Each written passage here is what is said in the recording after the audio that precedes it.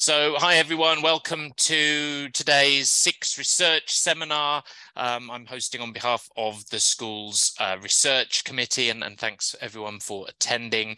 Um, I'll begin by acknowledging the Wiradjuri, Ngunnawal, Gundungurra and Biripi peoples of Australia, who are the traditional owners and custodians of the lands on which CSU's campuses are located, uh, and pay respect to their elders, both past and present. Um, so as I mentioned, this uh, session is being recorded. Um, if there are people here from outside the school, it would be great if you could say hello in the chat and let us know where you're coming in from, because we do like to keep uh, keep track of, um, of, of, attendees at these um, sessions. Uh, the usual format, so there'll be around 40 minutes of uh, presentation from Jane, um, and then plenty of time after that for questions. Um, you can put your questions in the chat or I'm sure Jane is happy for you to put mics and cameras on and ask questions uh, at the end. Um, so today's seminar is titled Taking Chatman Back to Prison, Rethinking the Theory of Life in the Round. And our presenter, of course, is Dr. Jane Garner. Uh, and for the next two days, Jane is a lecturer in the School of, of uh, Information and Communication Studies after which she will be a senior lecturer in the School of Information and Communication Studies. You should have timed it a bit better, Jane, and got the full intro. Uh, and of course, she's also a DECRA Fellow. Um, Jane received a PhD from RMIT in 2017, um, so almost at the end of your ECR period, which is notable because, of course, today it was announced that Jane uh, was the faculty winner and overall joint winner uh, of the university's Excellence as an Early Career Researcher award. So congratulations Thank to you. Jane. Um, sets a high bar for this presentation, doesn't it? To, to, actually have to present research on the day you win this award. Um, her research interests include the role of books, libraries, reading and information in the lives of people experiencing disadvantage and poverty. So without further ado, I will hand over to you, Jane. Thank you, Simon. So I'm going to try and share my screen. Always a bit of a gamble. I reckon that's going to do it. Does that look like you can see my big, the whole screen? Yeah, excellent. Beautiful, beautiful. okay, let me see if I can get my, all right, that's what I want. Perfect. Okay. So yes, they um, this presentation is called Taking Chatman Back to Prison, Rethinking Theory of Life in the Round. And that photo is a photo I took um, from the library at Bathurst, no, at Silverwater Women's Prison in New South Wales. Uh, so before I start, I want to acknowledge that I'm speaking to you today from Abbotsford in Melbourne. So it's the land of the Wurundjeri people of the Kulin Nation. And I wish to acknowledge them as traditional owners of this beautiful part of Victoria. I'd also like to pay my respects to their elders past and present and elders of other communities who may be here today. So this presentation is um, highly theoretical. Um, so it is going to be somewhat dry, um, but I hope it will be of, of, interest to you. And I'm really pleased that I'm getting the chance to critique a theory, an information studies theory with a whole bunch of information studies academics because, and others of interested people, uh, because um, it is a theory that is held tightly, but not one that I can agree with. So I'm really keen to hear what you all think about it. So this is the lady who wrote the theory uh, that I'm working with. Uh, this is Dr. Elfreda Chatman. She uh, was an American woman who was born 1942, died 2002. So she didn't grow old. She died at, when she was about 60. Um, she had been a nun and she'd also been an academic in information studies schools at a couple of different universities through uh, in America.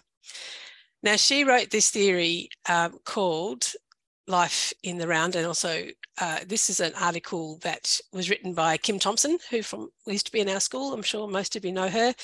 And she wrote this article about Chatman's theory building processes. So if you're interested in how Chatman came to build her theories then this is a really nice article to read and you can scan that QR code to take you to that article. So if you're interested in how Chatman built her theories, this is a really nice one to have a look at. this is the theory itself that I've been working with. So this is her theory of life in the round. She wrote this in 1999, so just a couple of years before she died. And she um, didn't give a lot away about how she came to build her theory. The only thing that we really know is that she based it in from fieldwork in three different environments. The first one being a prison. The second one was actually the first one was a retirement village, and the second one was a prison, and then a third one was a group of cleaners from uh, like industrial commercial cleaners who worked together on the one site.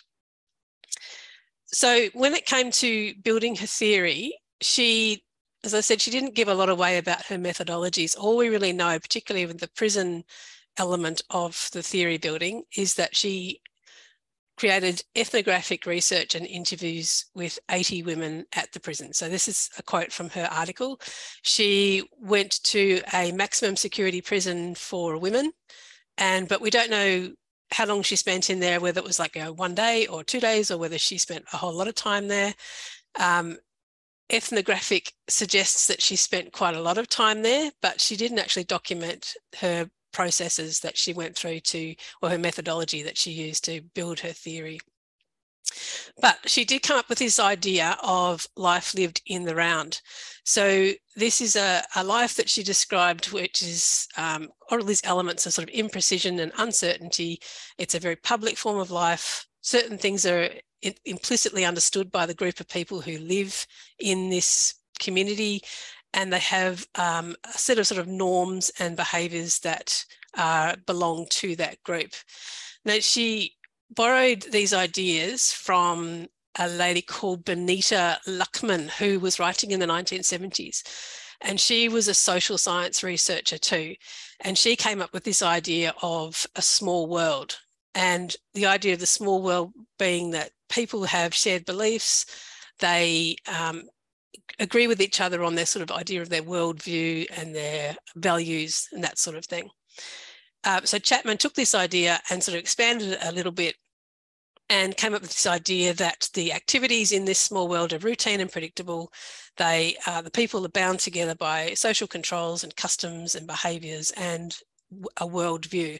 So when I'm trying to get my head around this idea, I think of like one of those um, maybe back in time, a little village on the top of a mountain in Italy somewhere where people don't mix a lot with the outside world. It's a very insular place where there are shared worldviews and shared knowledge and shared values. That's sort of how I think about this idea of a small world. And you can sort of see how that could translate to a prison because, again, it's really isolated. Everybody lives in each other's faces. It's all very public. And um, you tend to have shared views and values because if they differ, then that could be, uh, that could compromise your safety. So she described this idea of this life in the round when she started then looking at okay how does information work in these places so if you think like you know the little village on top of the mountain how does information work in a place like that and she had six propositions that she used to describe how information would work in a little place a small world like that so she had this idea that there were like insiders and outsiders. And again, she borrowed on some other theories for this sort of insider outsider theory. And she was saying that's the insiders, so the people who are really enculturated into that small world, who set the boundaries of behavior, who say, you know, what's acceptable, what's not acceptable, what's right and what's wrong, and how far you can deviate from that before you're sort of crossing boundaries. Mm. She said that um, people's behaviour, including information seeking behaviour, is really publicly scrutinised. So everybody knows each other's business, everyone knows what everyone else is doing, and that has a, a it's one of the influencing factors on how people behave. And she said, through establishing appropriate behaviour, a worldview is created. So again, this whole idea of having to conform to fit in. Um, if you don't conform, if you start having behaviours or thoughts or ideas or values that don't conform with the small world, then you start getting pushed out and you start being one of these sort of outsiders. And it also works the other way when somebody might come into that small world from somewhere else, they eventually become enculturated into that small world and they start to have shared beliefs and shared values and start using the same language, same sort of, you know, even sort of things like slang and terminology that people use within that world. That happens over time as people, new people come in, they start to sort of get pulled into that culture um, so they can feel like an insider. Otherwise, they're forever the, uh, the outsider in the group, which is not a comfortable place to be. So they're the first three propositions that she uses to talk about information use or information behaviours in a small world. Then she moved on to four, five, and six. Now, four, she says that life lived in the round, most of the time it works okay. Most of the time it's, it's predictable enough that nothing really different happens. But she says, if there's a, unless there's a critical problem, there's no point in seeking information at all. So her theory was that unless something disastrous happens and there's a real critical incident, then there's no point in looking for information because everything you need is already understood and known within that small world. So there's there's no need to sort of start looking outside the small world unless something has gone really, really horribly wrong. And she said members, uh, number five, members who live in the round will not cross the boundaries of their world to seek information. So she's saying people who live like this won't go outside their world to find information about anything because everything they need is there in that small world. And their shared beliefs and values and their knowledge of that world is sufficient to enable them not to have to go outside that world for information. But then she started thinking, well, actually, that's not always true. So she popped in Proposition 6. And Proposition 6 says that they will go outside the boundaries of that small world if there are three conditions that are met in tandem. And she's used the word and in between two and three, which suggests to me that all three have to exist in the, at, at the same time.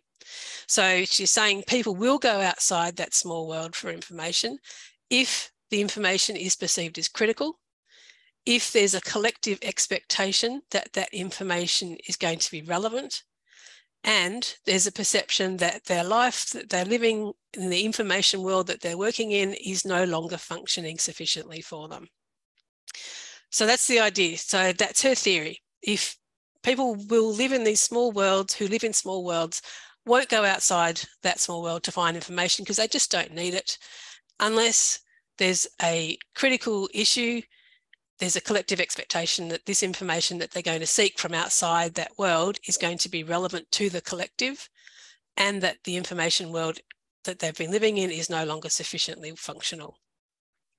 So when I was doing my research for my PhD, I was spending a lot of time in prisons talking to prisoners about their information needs and about their libraries and how they use them, what sort of information they would like to have that they can't get hold of. And I met this uh, man who was in a prison in South Australia, and he he was had been convicted of murder, and he was not going to leave prison. He would die in prison because of the nature of his crime. It was a very public and uh, violent uh, crime that he committed.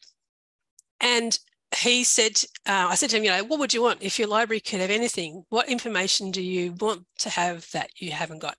And he said, you know, what I'd really want to know is how do yachts sail into the wind and make progress? What's the physics of a yacht that enables it to go into the wind and still make progress? And that's sort of, at the time I was sort of reading Chatman's work and I started thinking about this guy and thinking, well, he's the information he wants is is not really what I'm thinking would she would say would be needed in a small world. Even though she built her theory in a prison and here's this prisoner telling me something completely different. So then i started going back to the rest of my data and looking at it again. And i was seeing evidence of prisoners all over the place saying things like similar to this what's the physics of a yacht?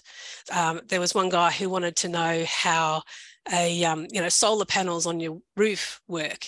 There was another guy who wanted to know the nutritional status of strawberries that have been grown hydroponically versus those grown in dirt. And you know, there was all these there's evidence of these really sort of wacky, interesting things that prisoners wanted to know. So then I started looking at that against Chatman's sixth proposition and saying, okay, well, do these interests fit that sixth proposition that would then allow me to say that whole her small world theory is supported by what I'm hearing from prisoners. And so I started thinking, well, is it critical to this man to know how to sail a yacht or the physics of yachting? No, clearly it's not because he's not ever going to go near a body of water again. Um, is there a collective expectation that the information is relevant? Again, it mm-hmm. cannot possibly be demonstrated that to understand the physics of a yacht would be relevant to someone living in a prison. And then the idea that life lived in the round is no longer functioning is something that I'll, I'll deal with later, but it's uh, basically that prisons are not information worlds that are functioning well. So I had this idea in the back of my head for years, right? Like this theory is is not not supportable from what I'm hearing. I would really love to test it properly because I didn't mean to test that theory. It just came up in the work that I was doing. So then I was really fortunate and I was granted an ECR grant from CSU, which enabled me to do a study of prisoner information behaviours, prisoner information seeking and behaviours. So that took me into six prisons across New South Wales. So we've got the top corner there is Long Bay Jail. Then um, in the middle on the top is Dillwynia Women's, which is out in Windsor. Uh, so Long Bay is down sort of near the airport in New South Wales. Um, Dillwynia Women's is out in Windsor. Um, the one on the top right is uh, Silverwater Women's, um, which is uh, sort of out past can't remember, Parramatta somewhere. Mary Wade is the bottom left-hand corner. That's a men's prison um, for uh, low security prisoners. The guys there actually go out during the day and go to work. Um, half of the prisoners can do that. The other half are on terrorism sentences and they don't leave. Um, down the bottom in the middle is the Mid North Coast Correctional Centre near our Port Macquarie campus. And then bottom right is the Bathurst Correctional Centre. So I spent um, three days in Long Bay and a single day in each of the other prisons, talking to prisoners um, about their information needs and their information behaviours.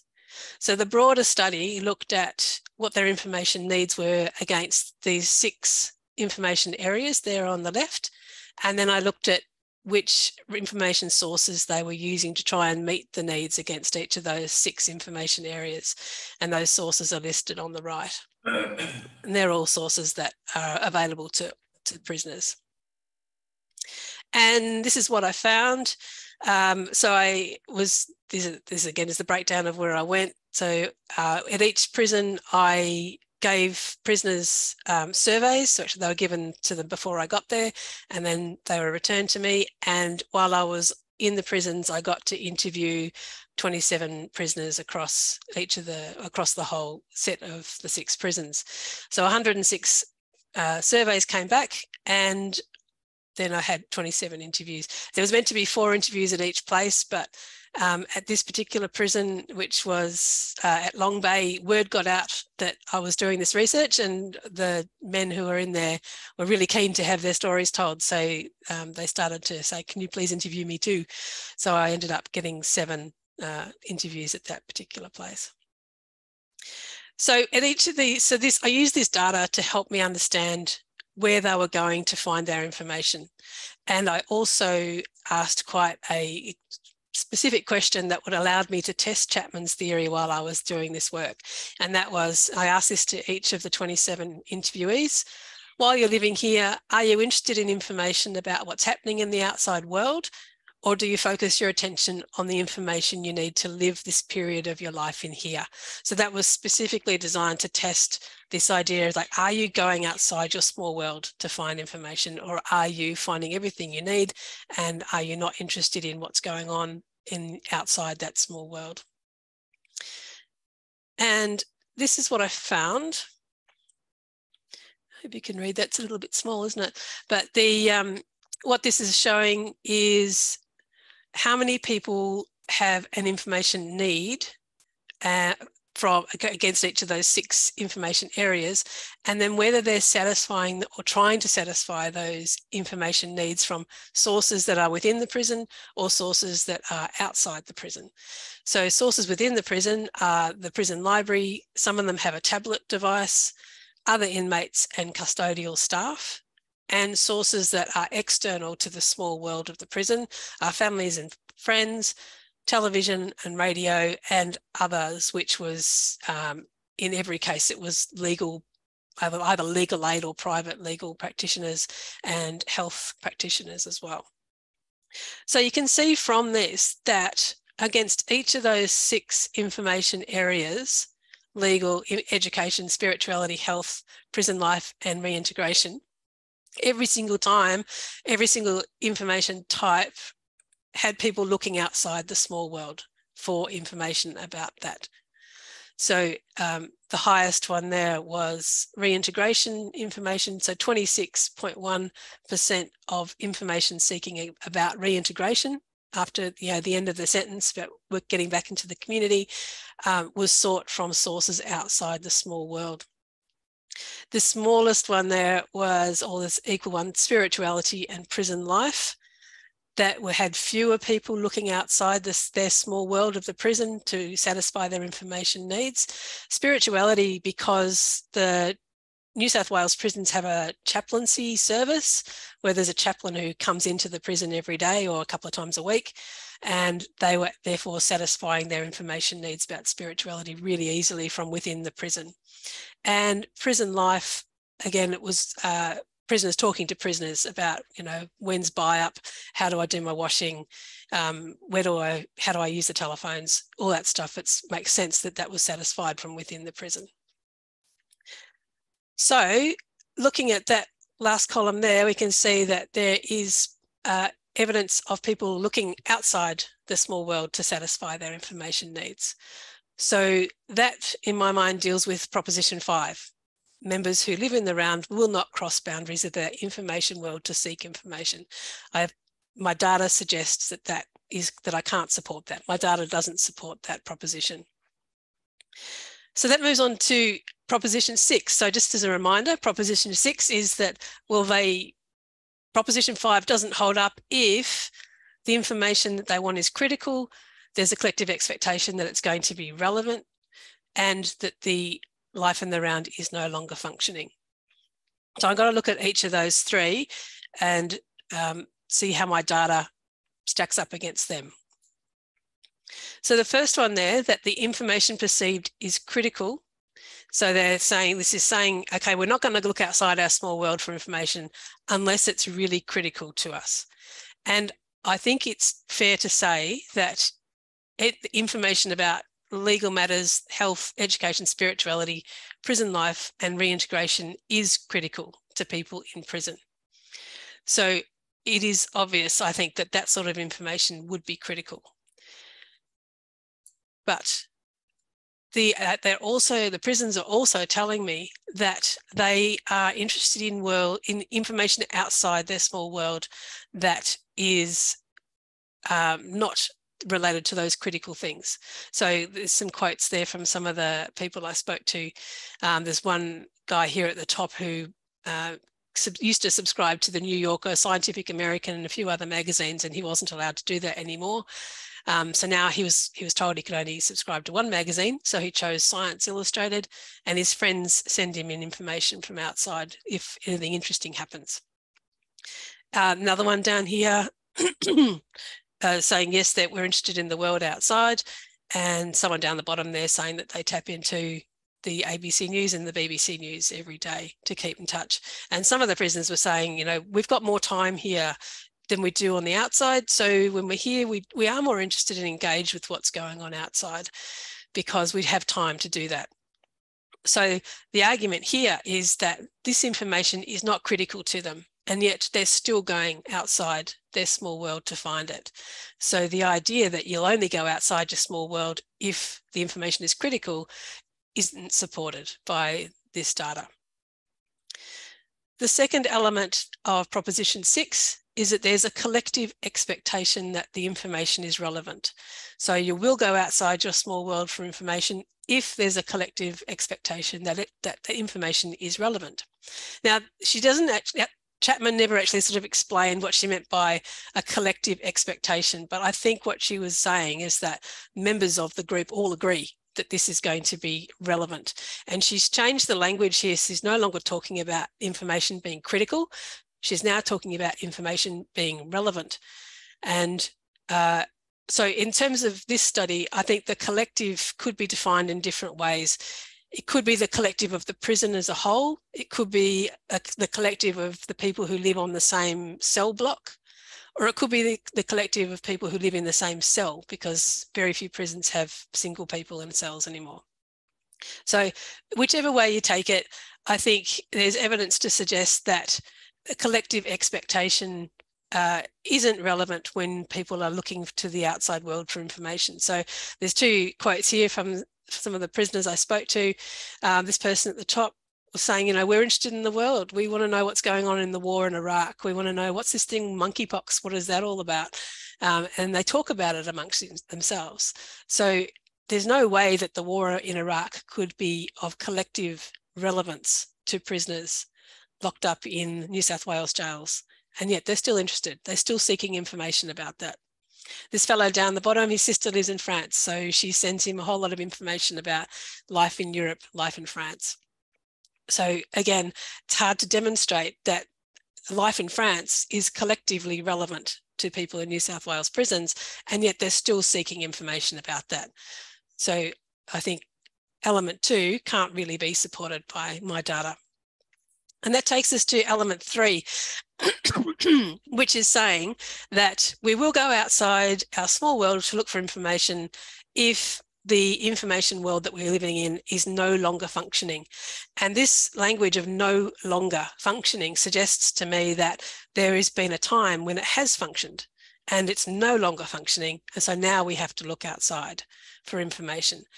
And when she was describing the prison that she did her research in, she said she expected to find information poverty in the prison, but she was surprised because she went into this prison and she found what she described as an information world that was functioning quite well.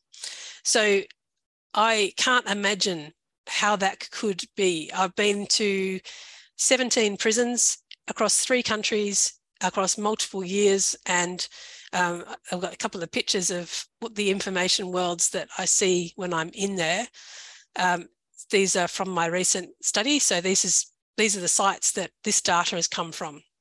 And you can see the collections are terrible. Um, they're sometimes very neat because the prisoners have a long time and a lot of time to organise themselves.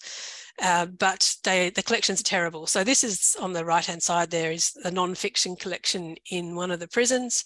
You can see, you've got the World Book Encyclopedia up there. Um, got some reading sets of things, but generally it's very, very poor. This was another of the prisons I went to. This was the entire library um, for about maybe 250, 300 men. Um, this was their barbecue. And uh, this was in one of the women's prisons, and that was their library that they were given access to. So um, these are, I've chosen sort of the worst photos in a way, but there are other photos I could show you that have very neat libraries, but not collections that are going to be providing an information world that is functioning well. And uh, when I was looking at their information needs and what percentage of those needs were not being met at all, this is the figure on this right hand side here. So I can see like 29% of legal information needs were unmet and 29.7% of health needs were unmet. So that's a lot of unanswered questions. That's a, not evidence of an information world that's working well. So I find it hard to imagine any information world that we could use to support up element three of proposition six to say that it is no longer functioning because I don't think they've ever functioned well enough to be sufficient to meet information needs. And if we remember that proposition six used the word and, so that suggests to me that all of these three elements have to coexist in tandem, where the information they'll only go outside their information world, they'll only go outside their small world for information if it's perceived as critical, and there is an expectation that it is relevant to the collective, and the information world has stopped functioning well. So on the basis of that, I can't find data that supports proposition six at all. I also can't find data that supports proposition five, that members will not cross outside the boundaries of their world to seek information because they clearly do, which then undoes proposition four, which says that unless a critical problem arises, there's no point in seeking information. Clearly, my uh, data is saying that people will look outside their small world of a prison for information, regardless of its critical or relevant nature, or regardless of any change in the information functioning, the functioning of the information world. But there's always a but. The, the theory that Chatman put together, uh, she published it in 1999, so that's 23 years ago. So it is possible that there are reasons why what worked for her, what she found observable and managed to build a theory from, is no longer current or no longer applicable. Um, maybe we're more curious than we used to be. Maybe prisoners are going into jail now, and instead of being happy with focusing on their small world, maybe they're so used to having the internet that they are now more demanding or have higher expectations of being able to engage with information. Don't know. Um, Chatman's prisoners were all American. Maybe Australians are more curious. I doubt it somehow. Um, she worked with only women and only uh, maximum security prisoners. I have data from women in maximum security prisons, which is um, consistent with the whole body of data that I've been working with. And there's no statistical significance in, uh, know, difference in either across genders or across security levels. Um, the only difference really that was well, it was easy to see there was the spirituality related information where women were much more likely to look for spirituality related information than men were. Um, so um, I can't say that I, my data can support Chatman's theory. So I think it will be really, really interesting to try test her theory in other areas that she built her theory from. So go back to a, um, a retirement village or go back to a community of um, manual workers who don't. But it'd be really hard to do because, like, if you go into a retirement village, they're very likely to have access to the internet on their phones or something. So it would be really hard to replicate her study somewhere else or to even test her study in one of those sort of environments. It worked in a prison because the the conditions or the information world eh, is pretty much the same from when she wrote her work to when I did my work. So it was quite easy to to sort of you know test her work there. There's been a couple of articles that have um, there's actually quite a few articles that apply her theory to different small worlds to see if it works. Um, like this is top one there, Dankasa. He wrote, I think it's a he. They wrote a. Uh, they looked at her theory against the information behaviours of Catholic clergy in northern Nigeria. And then the bottom one there, Zhu and Lau, they studied the information behaviours of ethnic minorities in China and they used Chatman to try and explain what they saw. But again, they didn't um, challenge her theory. All they did was look at their data and say, okay, this fits with what Chatman said. Or they used Chatman to try and explain what they were seeing rather than actually digging into the theory and taking it for a walk and saying, okay, does this actually hold up? Um, which is what I've been trying to do. So I've written all this up and it's going to be published in Journal of Documentation next year. It's just been accepted for publication. Um, so if you're really, really keen and you want to hear more, um, you can read about that there.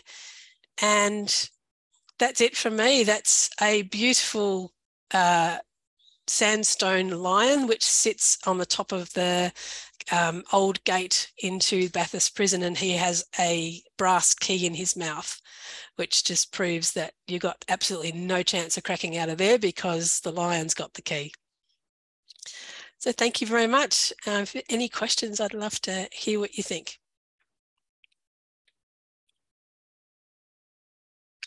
Thanks, Jane. There was a question from Hamid in the chat. Um, I'm wondering if Chatman asked such open questions or limited the questions, like what is it you want to know for your life in prison or something. Yeah, I wish I knew Hamid. Like she didn't, she didn't write down her methodology at all. All, all we know is that she gathered ethnographic data from 80 women in a maximum security prison in uh, North Carolina. That's all we know. It's um, she just never wrote a methodology down. So don't know. Be good to know. Jay, I can see you've got a hand up there. Thanks, Simon. Thanks, Jane. I really, um, really appreciate interesting research like this that's sort of asking different questions of different spaces. Um, my question is around uh, the definition and the purpose of small worlds for individuals in collectives within those worlds. So, do you think there's any um, distinctions to be made about information seeking of prisoners inside a small world that they did not choose to actually become a, a part of a collective in? Um, and whether you know the information that you say it seems logical for them to seek is available within the walls of prison, for example, legal health, um, what was the other uh, spirituality. So those kind of um, less tangible i think or not less tangible those um, dominating needs for survival are met within the uh, small world of the prison. However the connection to the outside world which may be in some way their predominant connection whereas you know they don't have a choice whether to go and enter and be part of the small world of the prison. They've come from a small world outside uh, that belongs in a bigger world that they have to some extent chosen to be part of a collective in. How how did you position that kind of uh, element of choice um, being forced into small worlds being forced to adopt particular norms inside a captive space um, in relation to information seeking? Yeah, great question, Jay. Thank you. Um, I think I didn't set out to address that at all. Um, the sort of work I like to do is just to let people tell me their stories rather than me trying to um, test particular uh, or like trying to impose my understanding of what their life might be like outside or inside. Um, I think the uh, maybe the thing that I observed that might be relevant is that uh, when people come into prison, they are often it's, it's often not their first time in, and they are quite happily not happily, but they're it's not always a difficult transition. Some of them say, "Oh, yep, I've back here, this is just part of my existence. I'm in and I'm out. And when I'm out, I do this. When I'm in, I do that.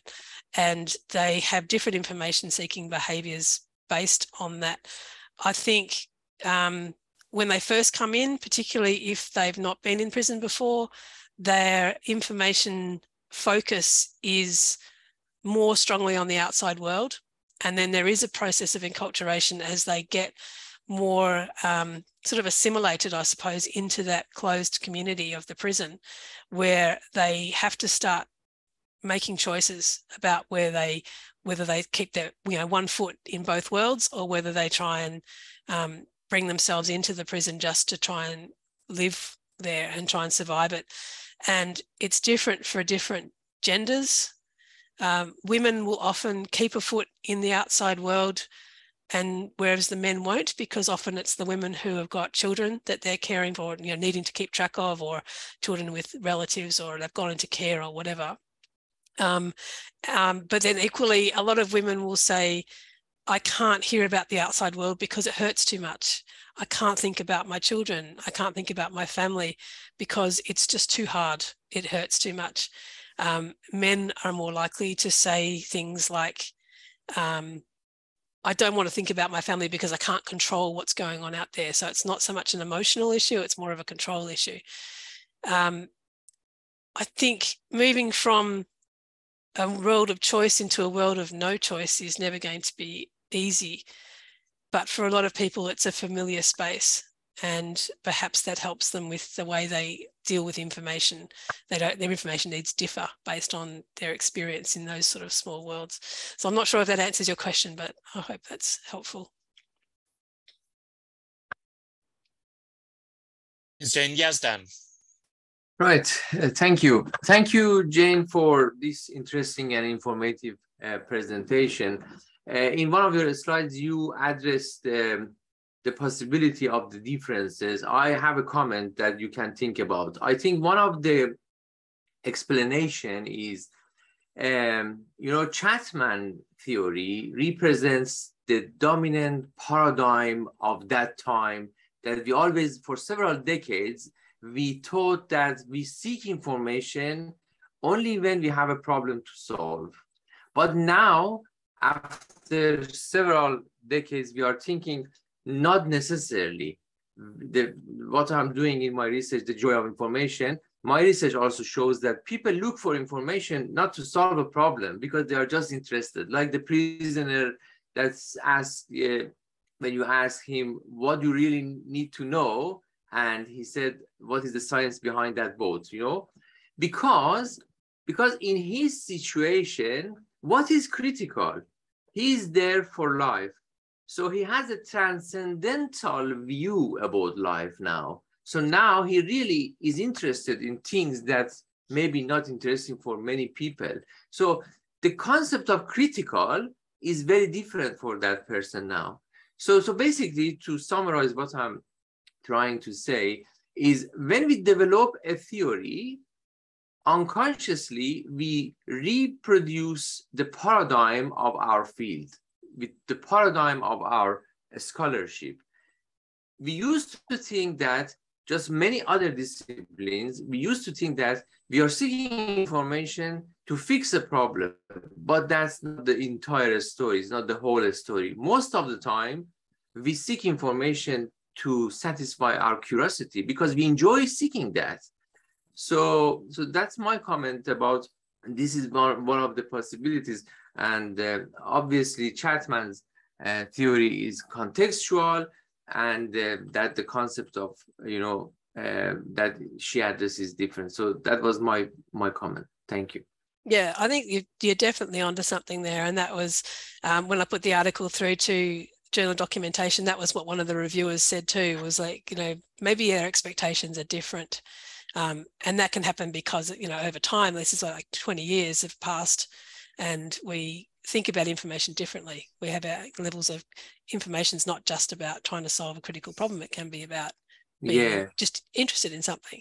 And also you're right, like this, that particular guy, he, um, he went into jail as a sort of, you know, youngish man in his 30s and he was never going to leave.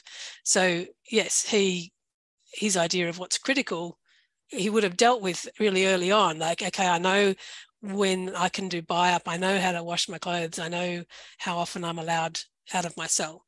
And so all that sort of that critical stuff gets done and dealt with. And then you're right, they have time to sit and mull and think about things. And maybe that's when curiosity sparks off yeah. other ideas that they might then be interested in.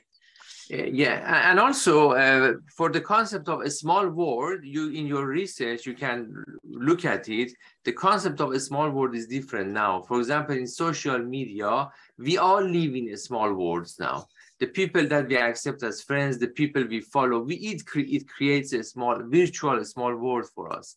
So that's another issue you can think of. Thank you. Thank you, Yazdan. Uh, do we have time or do we are we up? up? No, we have we have time. Uh, can I ask? A question? Yeah, of course. Go for it, Wasim. So um, uh, thanks, uh, Jane. Uh, first of all, some some comments. I think that in order to uh, look at the, some of the propositions and in order to see whether the propositions hold also still today, I think it will be important to look at, for example, what kind of level of analysis Chatman did like whether she aggregated what at what level she aggregated her data. Obviously, Hamid already raised a question about what kinds of questions she asked. You know, so I think unless we know those kind of details, uh, you know, it will be hard to actually uh, justify with the current existing uh, uh, like data sets, you know, in order to demonstrate whether the propositions from that time hold or not.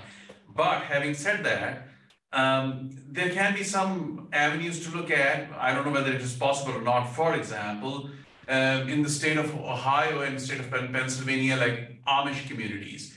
Some of the Amish communities, they are still very, you know, living in this, like in a very small world and perhaps you know you know you never know maybe you will get an opportunity to test the theory uh, you know in that um, kind of an environment the second i think avenue can be the communities which are um, um, in online spaces but they are representing extremes.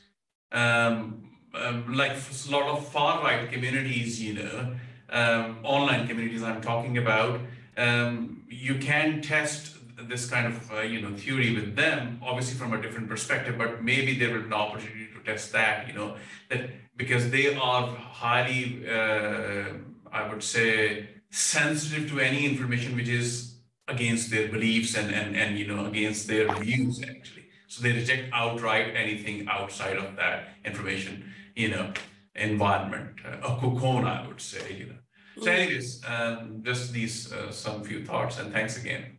Yeah, that would be amazing. Imagine having to choose between the Amish and the extremists. I'm not, I think I think I'd be getting my horse and buggy, but um, I think you're right. It's very difficult to test her theory with any sort of great surety that you're getting comparable environments or comparable data because she didn't write it down. She never said but we do apply her theory so broadly and it's accepted so wholeheartedly that it's still worth challenging. And although you can't replicate the study because we don't know what she did, we can still test the propositions. And it would be really interesting to do that in communities. So we can't really use the communities that she worked with so you can use prisons because they haven't changed much since she was working but retirement villages and um, you know manual laborers uh, would be difficult because their environments will have changed significantly but something like the amish would be really interesting um, and extremists as well because of that whole insider outsider element of the small world it would be very interesting i, agree so uh, philip i'll just uh, hit you up for some money and you can send me off to the amish did you not get any prize money, Jane? not enough. they live very cheaply, I believe, the Amish. Anyway, um, I had a comment. I, I, don't know if you saw, Jane. I put in the chat. Uh, it's a few posts ago now. I was just perusing that Chatman paper, and after she introduces the propositions, there's quite an interesting paragraph which I find slightly hard to parse, but it includes the section that I put in the chat That interestingly, I wonder if there's a typo, right? Which right at the very end it says intended for everyday causal use, but I wonder if that seems more likely that she meant casual use. I don't know because yeah. they both they both they have slight quite different meanings. But anyway, um, it, it occurs to me that it could like one interpretation of that is she's basically saying this theory is really applying to information directly about the small worlds right that it's that uh, one reading of that and it's not entirely clear to me but she's also she's almost kind of discounting casual everyday information needs which i i guess she may argue some of the needs for which people are going outside like I mean, it's hard to do really, but yeah, I suppose you could construct an argument that that kind of keeping in touch with the news or so is, is a kind of you could you could classify as a kind of casual information need rather than an information need of, directly about the world in which you inhabit. If you were to limit the scope of the theory to information about the world in which you inhabit might it be the case that there's that you might be able to to to to maintain some of those propositions that you discount so that would be then information about prison life, really, wouldn't it? Yeah, I or your so. own legal matters. But I guess and, it's also a kind of information about more sort of nebulous information about the you know the, the the the hierarchies within that social community and mm. what the current trading rate is for cigarettes or whatever do you know what i mean like so i guess mm. that kind of more uh, highly centered information yeah, that I think I could test that a little bit with the data I had because one of the areas of information I looked at was prison life. And even for that, there were still people were looking outside prison mm. to try and meet those needs about about life in prison. So I think it would probably strengthen her theory if you limited the small world to that of the prison rather than the broader world that the prisoner lives in. But even if you did that, I still think there's evidence to suggest that people would be still looking outside their small world to help them live within their small world. Yeah. Yeah, interesting. Because there's yeah, then I put another. It is kind of it. It's not made clear, and in fact, I was sort of searching through the paper a little bit, hoping to find some clearer definitions of some of this stuff. Because as others have pointed out, like the Nate, you know, critical is a critical term in that terms of that proposition, but what's critical to people can vary and, and so on. So yeah, there's there is just this sense that that you like that that last quote about it about that community in time and space and if mm. she's only considering information directly relevant to that community in time and space it kind of discounts the that other information that that sort of disproves the wide the broader more broadly yeah. applied theory. Yeah, you could look at it that way.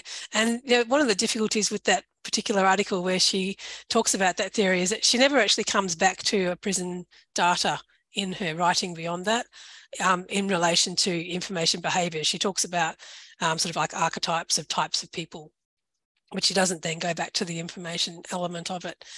Um, but yeah, that, that article where she does write about it, it's full of inconsistencies and it's full of strange language that, um, or like ideas that she almost picks up but then drops before she develops them. And because she died uh, quite young, she didn't have a chance to sort of come back and build her theories or to test them herself or to challenge them. So, yeah, it would be great to sit her down and say, what were you thinking when you put this together and where were you going with it? But um, it's not something we've been able to do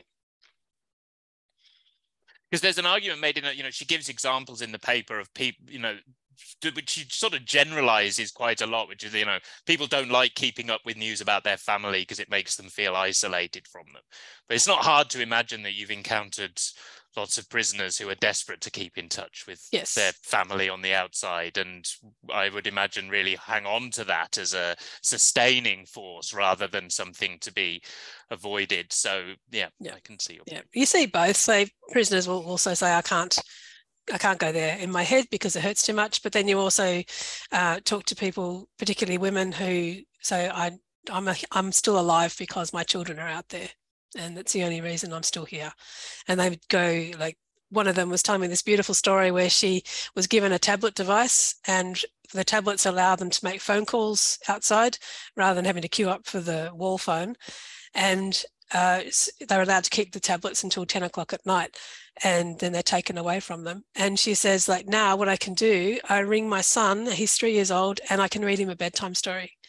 And it's just beautiful. She said, you know, for the first time I've been able to do that because I got given the tablets last week.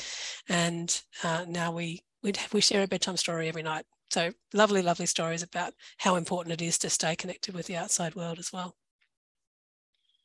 Uh, you you know uh, the the reason is well i have a comment about that you know the uh, the reason is that the way we engage with our uh, target group and the way they identify themselves affect our, on our findings. I give you an example. I i, I think that Chatman uh, the way that she engaged with them focus on them as prisoners. You know that was the dominant perspective of them as a person. But the question that you asked them, specifically the question that you ask what on earth you want to know as a person, not a prisoner. So my comment here is basically the way we do the research is very important on how we find the result. You know, so the perspective of the researcher and the paradigm. So I just focus, uh, highlight the significance of the paradigm. So the perspective of the researcher, the perspective of the uh, interviewees, and the paradigm, these elements change everything. So I think that you engage with them from a different paradigm, different perspective, and she engaged them with a different paradigm and perspective. And that's why you can see these, you know, uh, totally different outcome. So yeah.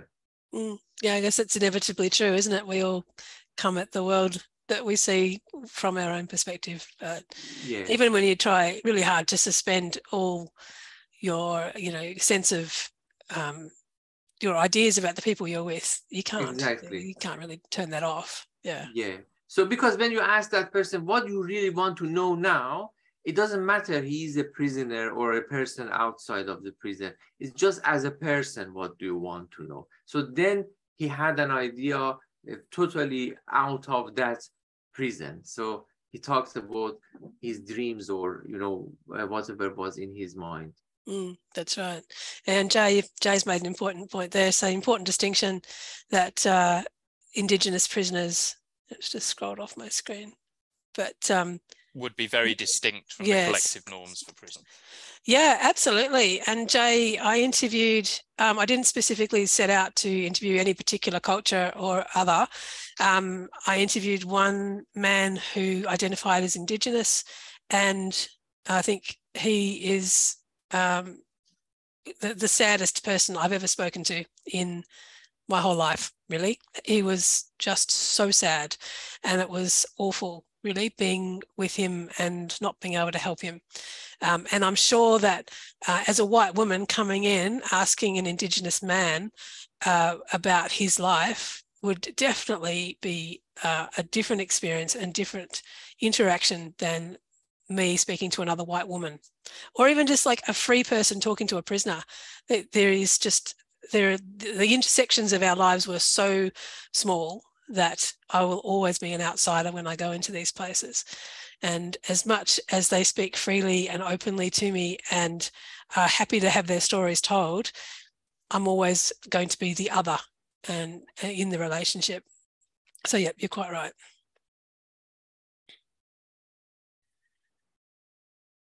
Any other? Well, we've got a minute left. I should probably wrap things up unless there are any uh, final quick questions for Jay.